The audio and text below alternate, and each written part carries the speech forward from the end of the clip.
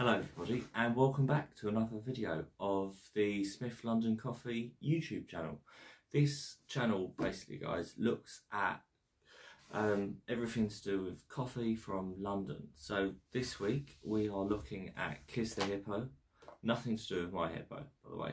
So without further ado we're going to do a cupping and a world review and um, yes stay tuned guys. Alright, so here we have 12 grams of Kiss the Hippo George Street blend. And what I've done is I've ground it in the hand grinder. And the reason I use a hand grinder is because it's easier to control the um, the consistency of the grounds with a hand grinder as opposed to a really expensive uh, electrical one, which to be honest I can't afford.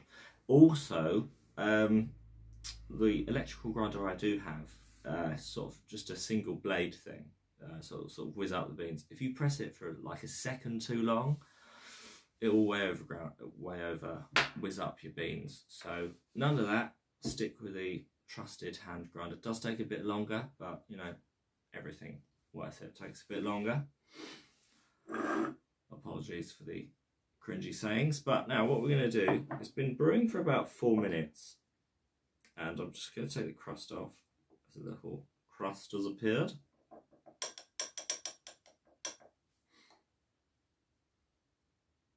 I'm just going to take a very small sip. Now, yes, let's go into the uh, George Street blend. Oh, now, the acidity hits you right away.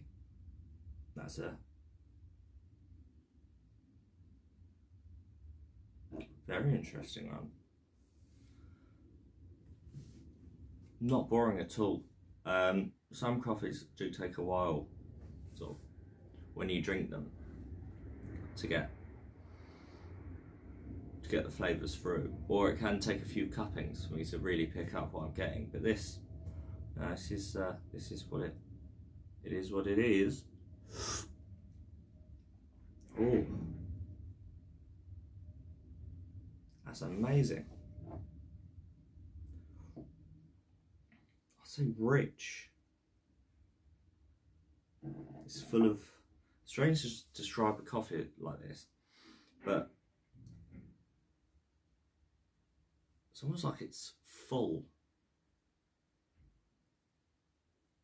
It would probably go well with milk, this one. Oh, that's delicious. It's a medium range and uh, brewed, I can see it here, it's uh, brewed in Peru. Oh, 50% Peru, 50% Colombia. Oh, that's interesting. There's a no, Kiss the Hippo have uh, supplied me with a little information on the back, which you'll get to if you bought them. So it's got notes, you can see it there. It's got tasting notes of chocolate, berries and butterscotch. Now, not slagging them off, but I can't get that at the minute. I think what that may be as well, guys, that um, are quite a few factors that come into tasting as I do more and more of it. It's quite interesting how many variants you can have just person to person.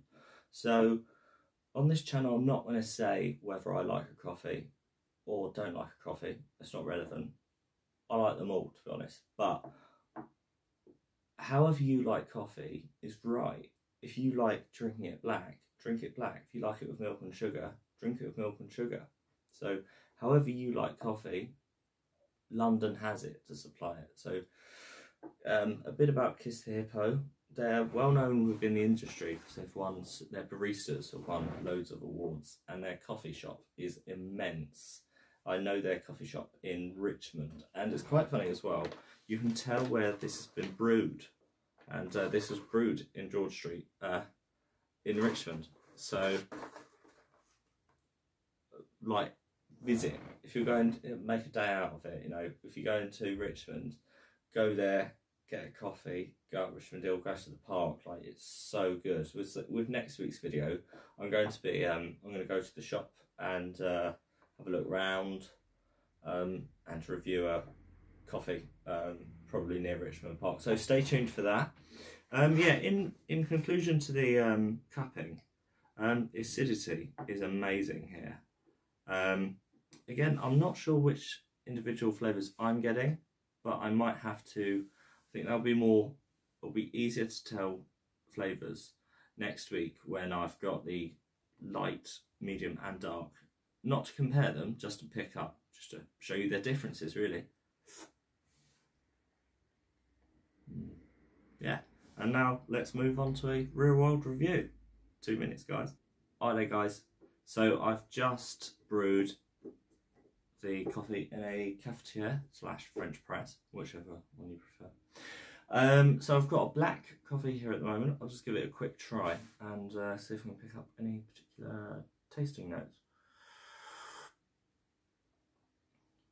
Hmm. I think I've made a good judgment here, just in my opinion. But um, see, milk is needed here, definitely. So I'm going to put in a little bit of milk. Without the milk, I'm getting acidity, and it just needs something just to finish it off for the mouth feel. Put in a little bit of milk, give that a go, and I'll put in a little bit of sugar as well. A few drips, very sorry. I clean the table, so you know, I'm not sorry. But here we go. Oh. Now I'll try and use roughly the same amount for each French press. That is lovely.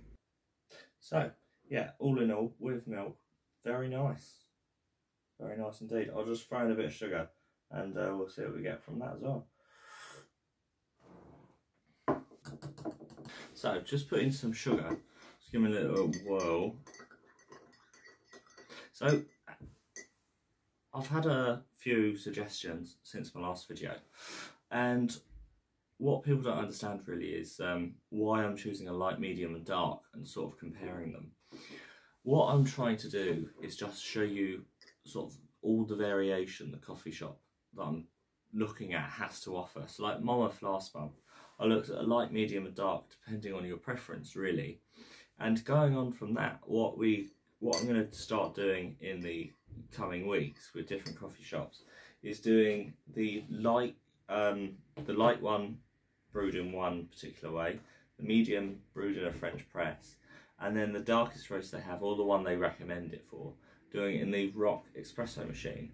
So yeah, um, these videos just show what London has to offer, and yes, enjoy. So without further ado, quite a long one, guys, but. Uh, See what it's like sugar.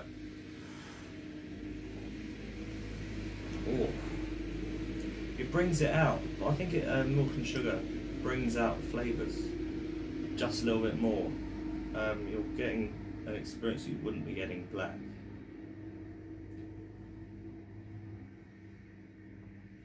Well-rounded coffee, say. Is there um it's a classic George Street blend, so I can see why it does well. It's amazing. Yeah, so thank you for watching that video. Um, if you liked it, please give it a like and um, add a comment. Just give us some little tips, uh, hints or anything. Um, just let you know, I've linked my uh, social media down below. So what I'm going to be doing is doing a lot more tastings every day just so I can pick up my knowledge and you're welcome to follow along with that on Instagram. Um, yes, so some improvements from last week. Very sorry about no video last week. The pubs were open, so I went to the pub instead. Um, not that much has changed since the week before. I've got the new um, new displays behind me. Um, so yeah, for next week we'll be reviewing the darkest roast from Kiss the Hippo in Richmond. So watch this space.